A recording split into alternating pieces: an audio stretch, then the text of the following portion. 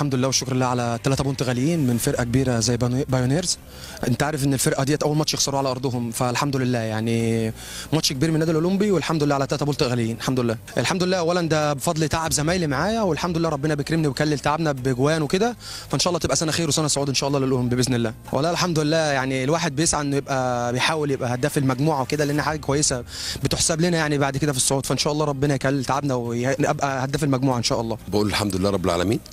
ماتش النهارده ده إحنا قلنا اللعيبه الماتش النهارده ده صعود. بالنسبة لنا إحنا صعود اصعب ماتش بره والحمد لله ربنا قدرنا واللعيبه كانت رجاله جدا الحمد لله رب العالمين.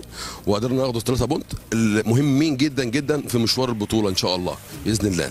والله لا أنا شايف يعني من المجموعة كلها الحمد لله إحنا مش عشان أنا مدرب في النادي الاولمبي لا النادي الاولمبي السنة دي بسم الله ما شاء الله لعيبة على أعلى مستوى آه، جهاز فني محترم مجلس إدارة الحمد لله بيدعمنا بشكل كبير جدا الحمد لله رب العالمين مش متأخر عن أي حاجة.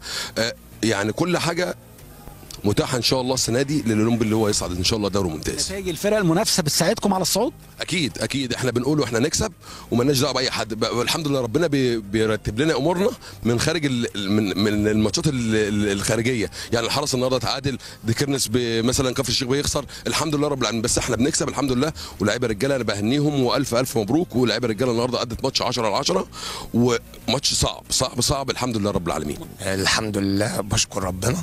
على أداء. آه، عاوز أقول مبروك للنادي الأولمبي. الماتش كان ماتش تقيل. يمكن مش هقول لك إن شبه سيطرنا على ال 95 دقيقة 96 دقيقة. ما حلفناش التوفيق في كذا كرة جات لنا. منهم كرة اتردت الجون فاضي آه، اتحطت في السماء كانت هتغير سير المباراة. آه، عاوز أقول إن أنا الحمد لله بشكر فرقتي.